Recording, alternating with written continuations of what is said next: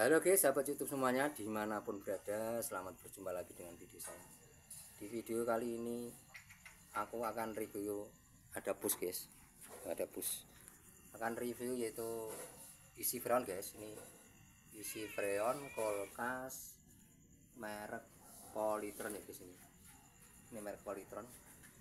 Ini sudah taraf pengisian hampir selesai guys di posisi manipul saya ini di angka 10 ya guys tapi situ sudah penuh guys ini proses pengisian. Seperti biasa ada tiga pipa.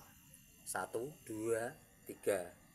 Pipa pertama untuk pengisian. Ini ya guys sudah tak las tak sambungkan ke ini freon 134A ya.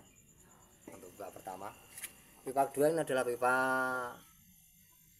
eh, pipa panas yaitu pipa tekan. Untuk pipa tekannya ini ini sudah panas sekali. Pipa tekan terus ini adalah pipa isap ini adalah filternya.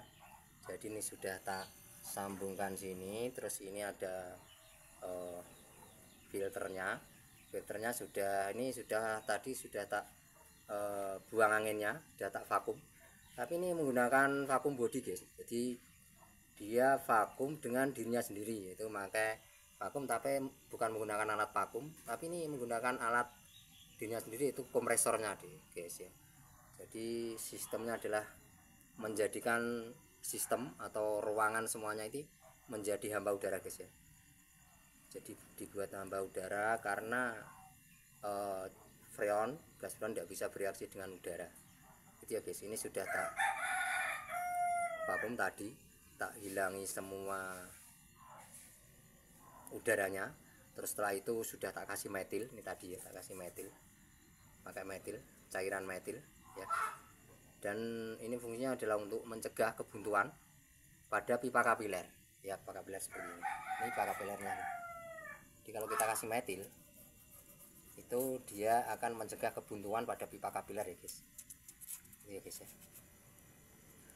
Ini dalam taraf pengisian sudah mulai hampir selesai guys. Ya.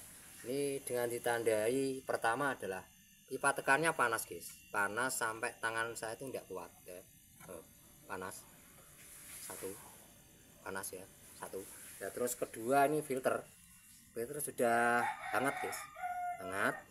Terusan kondensor kondensor ini kondensornya masih asli guys.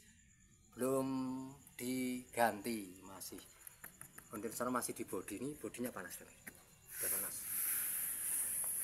Kondensor asli nih guys. Belum diganti ya. Sudah panas. Jadi pipa tekan sudah panas.